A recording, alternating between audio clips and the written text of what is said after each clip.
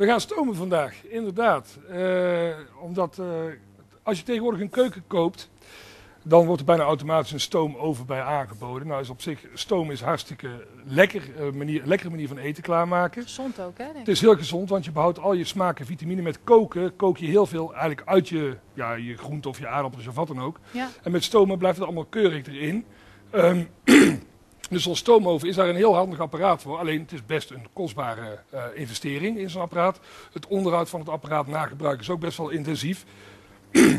Wat ik dus vandaag ga laten zien is dat je eigenlijk uh, met een pan... En ja, ik heb hier een, uh, een lege, want hier zit allemaal al wat in. Dat gaan we vandaag opeten. Eigenlijk dus een pan met gaatjes. Dus eigenlijk een, een bodemloze pan. Oh ja. Hier gaan we dus ingrediënten in leggen. Inmiddels ben ik hier al water aan de kook aan het brengen. En dan gaan we dus vandaag, uh, ja ik zal het laten zien. We gaan wat aardappeltjes stomen, dat is mm -hmm. één.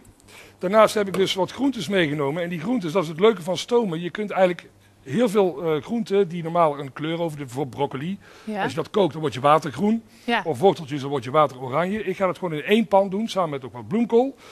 Um, dat komt hier namelijk bovenop. En dan heb ik tot slot Oh, nog, uh, ja, ik weet niet of de cameraman het kan zien, wat zalm meegenomen. Lekker. En dat gaat hier weer bovenop. en op deze manier komt het dadelijk hier boven het kokende water. En dan gaan we dat in één keer klaarmaken. Oké.